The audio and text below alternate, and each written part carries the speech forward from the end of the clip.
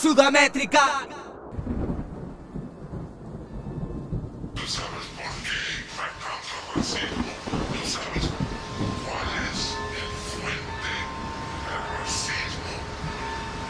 Las religiones, las iglesias. Ningún Dios quiere que vos vayas a su templo, solo quiere que te portes bien, que te portes bien, que te portes bien.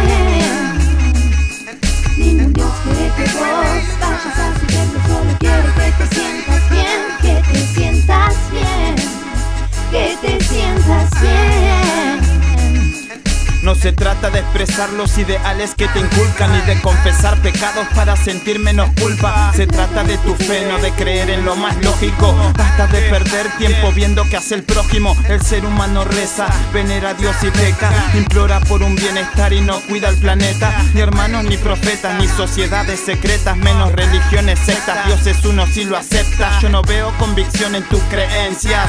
La doctrina más profunda es la razón de tu existencia. No es cultura, ni tribu, ni pueblo, ni descendencia. Oraciones en voz baja contradicen tus vivencias. Te sentencia tu conciencia a estas alturas. No te aferres a un misterio, no saber genera duda. Abrí los ojos, no ignores tu postura. No lo busques por necesidad. Agradece ofreciendo ayuda. Dios quiere que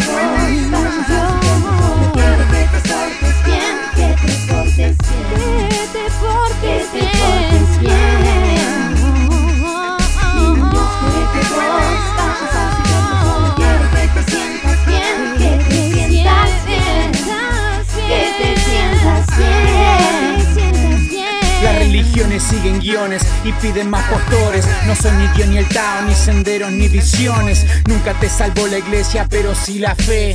No busques la esencia porque siempre está en el ser. ¿Quién trae el diluvio? La peste vuelve subio. ¿Quién es el creador de los problemas y disturbios? No falta pensador, faltan actos de repudio.